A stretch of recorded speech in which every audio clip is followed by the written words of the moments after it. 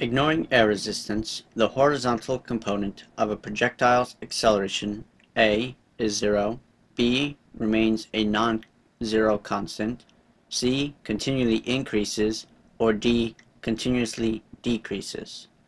So we know that as the object in a projectile motion is going through the air, so here we draw the ground, now we're going to throw a ball up, it's going to follow a parabolic trajectory and fall back down.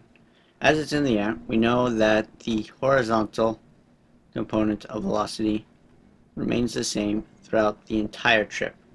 So Vx, as we can see, is constant. So Vx is constant. If Vx is constant, then the acceleration, or Ax, in the horizontal direction is equal to 0. It's not a non-zero constant, so B is wrong. It's not increasing because the velocity of our ball in the x direction doesn't change. So the acceleration is not decreasing or increasing. So C and D are wrong. B says it's a non-zero constant. Well, it's zero, so it is it's zero, so B is wrong.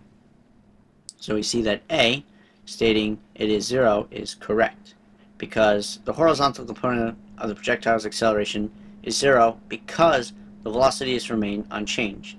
You remember that the acceleration is equal to the change in velocity over the change in time. If our velocity doesn't change as you progress over time, then your acceleration is equal to 0 meters per second squared.